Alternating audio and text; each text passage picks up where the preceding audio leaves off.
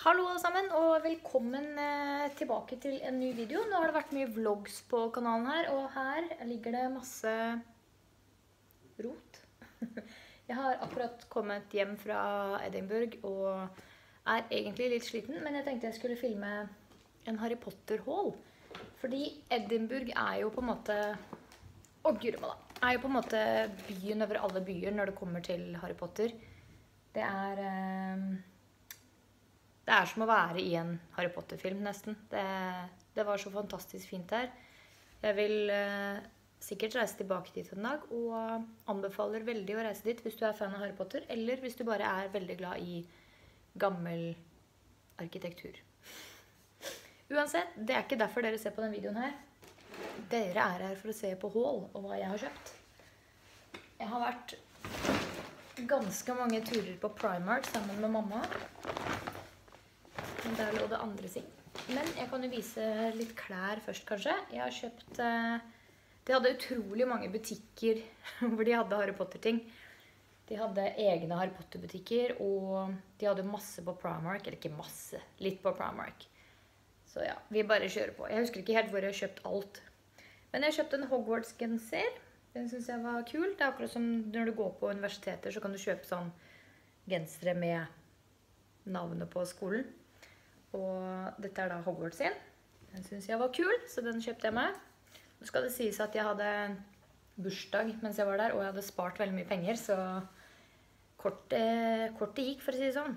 Så kjøpte jeg en del sånne T-skjorter på Primark. De hadde ikke så mye Potter-T-skjorter, men jeg tror jeg kjøpte alle sammen. Jeg. Kjøpte den her. It's Leviosa. Not Leviosa. Right. Og dette var min favoritt, tror jeg. Weasley! Den var i herreavdelingen. Vi skulle egentlig bare innom for å finne noe til eh, ja, min bror og litt sånn. Og da så jeg den, så da handla jeg til meg selv istedenfor til broren min. Og den her har jeg kjøpt. Alle de er fra Primark. Den her kjøpte mamma til meg. Sånn liten shorts som jeg kan ha på verandaen i sommer. Med litt Harry Potter på. Jo, og så kjøpte jeg Den kan jeg vrenge. Jeg kom på at jeg hadde ikke med meg noe pysj. Så da kjøpte jeg en sånn svær T-skjorte-ting. Med også små Harry Potter og Hermiones og Rons på. Eh, skal vi se Det var vel alt Nei, én klær. En klær. Litt klær til. Jeg kjøpte Den her kjøpte jeg på jeg husker ikke hvor jeg kjøpte den. Jo, jeg kjøpte den i den eh, lille Harry Potter-butikken som er i en av de smågatene. Sånn er den. Minster of Magic. Beautiful. Og på Primark så kjøpte jeg også et sånt toalettmappesett. Det som er inni fulgte da ikke med. Det kjøpte jeg også på Primark, men ja. Jeg kjøpte det egentlig mest fordi jeg ville ha denne toalettmappa, for jeg syntes den var veldig fin. Med sånn, det er ikke så viktig, men den, og den kom i et sånt sett, så da fikk jeg med den og disse to her også. Sånn kanskje. Sånn. Så den her var jo kjempekjekk og liten. Kan du ha hodetelefoner i, eksempel. Så de ikke surrer seg fast. Og jeg kjøpte meg enda en pysj. Den så jeg også på en av de siste turene.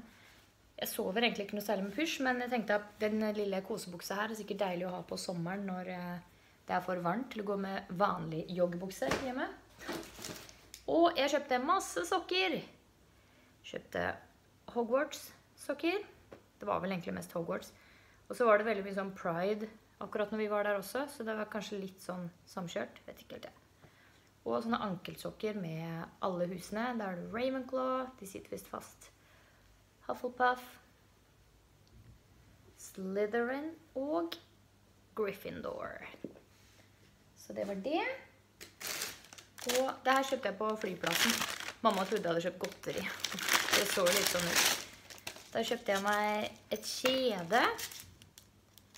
Muggleworthy står det på den. Jeg vet ikke om dere ser det så godt. Jeg. Sånn kanskje. Synes det var litt fint. Jeg liker litt sånne ting som på en måte at du ikke umiddelbart ser at det er Harry Potter-relatert, men at hvis du er veldig glad i Harry Potter, så vet du at det er det. Og jeg kjøpte meg en lommebok. The Bank of Gringotts. Ligger det litt sånn. greier i som jeg skal ta ut. Jo, og så kjøpte mamma et kjede til meg også. Det var det her. Lightning bolt. Mm, beautiful. Og så var vi på var vi på The Elephant House, som er eh, De kaller det for eh, The Birthplace of Harry Potter. Harry Potter, Harry Potter. Uansett, eh, det er kafeen hvor J.K. Rowling skrev den aller første Harry Potter-boka. Hun satt mye der og jobba og skrev. Så jeg kjøpte med meg en sånn kopp, fordi jeg tenkte at dette er et minne for livet. Vi var også der inne og drakk litt kakao, og mamma hadde kaffe. Jeg hadde kakao. Og en liten button som jeg kan ha på sekken min. The Elephant House. Vet ikke om jeg viser den. Eller jeg viser den, men dere så den kanskje ikke så bra. Den. Og jeg kjøpte en ting til der, og det var en sånn liten tinn. Den syns jeg var supercute. Og jeg trodde egentlig det bare var en tinn. Men da vi kom ut, så var det også cookies. Eller shortbread cookies. Mm, mm, mm. Det kan vi like. Og vi har fortsatt masse igjen. Skal vi se. Den her kjøpte jeg også på Primark, bare fordi den egentlig var så cute. Det er den lille Ford Angelica, er det ikke det den heter? Den bilen. Oh, limited edition. Det er da en sparebøsse med Harry og Ron som sitter i. Fun eh, story. Når vi var det siste dagen, kanskje, når vi var på vei hjem, så plutselig sto det en sånn her liten bil midt i gata. Jeg kan sette inn et lite bilde her, så dere ser.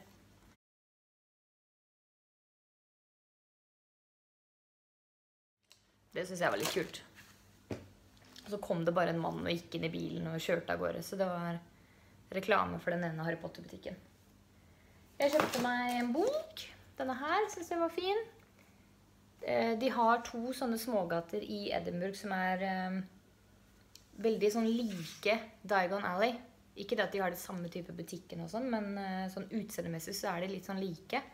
Så da tok jeg med meg den boka her fra den ene butikken som handler om Diagon Alley. Og her er det Ops, der ramla det ut en ting til jeg hadde kjøpt.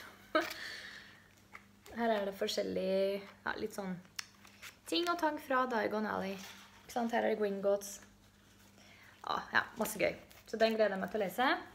Jeg er veldig glad i sånne type bøker. Og jeg fant en liten picket som jeg ikke klarte å legge fra meg. Skal vi se om jeg kan åpne den på kamera, kanskje. Jeg har ikke åpnet esken enda. Jeg får følelsen at det ser kanskje litt grotesk ut oppi her. Oi. Får man en magnet? To magneter også? Det visste jeg ikke. Åh, Bowtruckle. So cute. Så står det litt om og... Det var en nice liten touch. Jeg trodde det bare var... Eh, Stakkar, han er inne i klassen. Jeg trodde det bare var han her, jeg. Og det er sånn du kan eh, forme han litt, skal vi se. Og hjelpe han litt. Ai, oi, oi. All right, folkens. Her har vi den. Cute. Han må bare få lov å strekke seg litt. Grann. Har vært innesperra i den der lille boksen så lenge. Den eh, Oi. Han henger her, kanskje. Og jeg kjøpte også med meg et kort. Det er um, um, Hva heter det igjen? Hustreet. Stamtavla til uh, The House of Black. Series Black, altså. Sin familie. The Black Family Tapestry står det her. Jeg syns det er kult å finne litt sånn replikating. Nå er ikke dette et stort sånn teppe jeg kan ha på veggen, så det er ikke helt replika, men uh, syns det var flott. Kanskje jeg rammer inn det. Og apropos replika, jeg kjøpte meg den boka her. Jeg antar at dette er en uh, notatbok. Jeg kan ta den ut av plassen. Men det er en kopi, eller type replika av den boka som Hermione fikk av, eller arva av Dumbledore. Likte veldig godt at den hadde gull her, og så veldig lik ut. The Tales of Bill the Bard. Det er liksom den originalboka. Bare at det ikke står noe i, da. Det er linjer her i stedet for, så jeg kan skrive ting i. Den synes jeg var veldig fin. Jeg har sett på den før, og jeg mener jeg så den når jeg og Ida var i Orlando og tenkte å, jeg vil ha den, og så glemte jeg det litt. Så nå hadde jeg bursdag og kjøpte den. Kjøpte meg en eh, Magical Congress of the United States of America nøklering. Mhm. Skal vi se Jo, og denne kjøpte jeg også med på Primark. Fra Primark. Det er eh, Jeg er ikke så veldig sånn superfan av fake planter, men jeg likte så godt den her. Her står det Herbology Professor Pomona Sprout. Equipment, Airmuffs, Dragon Hide Gloves. Så nedi her er det vel kanskje en mandrake. Jeg vet ikke helt. Vet ikke. Men jeg syns den var fin. Cute. Den kan også få stå her foreløpig.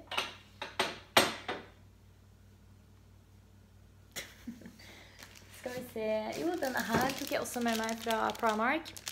Det er en notatblokk. Jeg er veldig glad i å skrive lister. Så her har jeg en egen Harry Potter-liste med en kulepenn. Så her kan jeg skrive sånn. Og ettersom jeg gjør ting, så kan jeg sjekke da lista. Og det liker jeg veldig godt, fordi jeg er litt sånn nerdete. Liker å ha litt oversikt. Ravenclaw, vet du. Og det her er et av mine favorittkjøp, som jeg også kjøpte på den lille butikken i uh, Svinggata, i Diagon Alley. Det er et handlenett. Og det er kanskje litt sånn halvveis dark arts-ish, fordi at det er Voldemort oppe på en kirkegård. Det er sånt. Sånn en. Men jeg syns den var så fin. Litt sånn spesiell.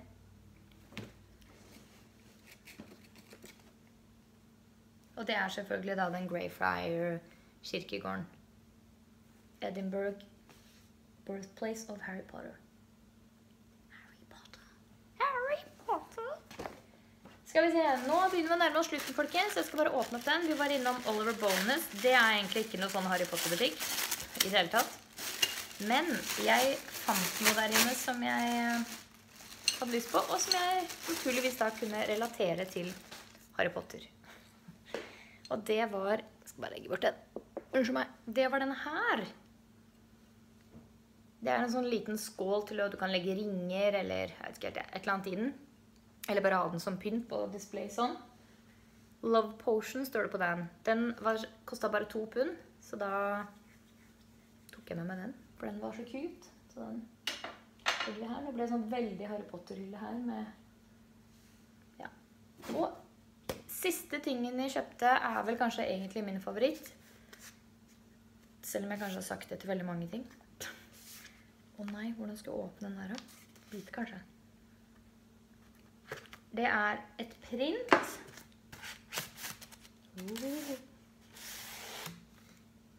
Skal vi se å, ja.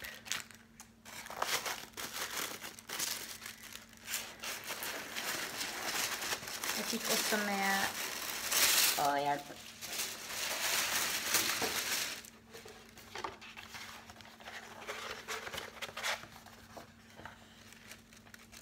Sånn ser det ut. Det er av uh, The Elephant House. Jeg syns det var så innmari fint.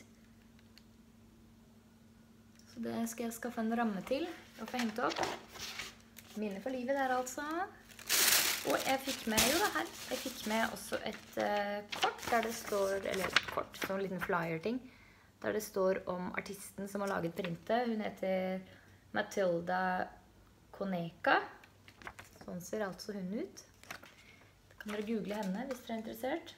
Og det var alt sammen. Så det ble noen kroner, og frøkna har kosa seg. Det var alle Harry Potter-tingene jeg kjøpte i Edinburgh på bursdagsturen min. Håper dere likte videoen. Gi den gjerne en tommel opp. Det setter jeg alltid stor pris på. Håper du vil abonnere, og at vi da ses i neste video. Takk for at du så på, og ha det bra.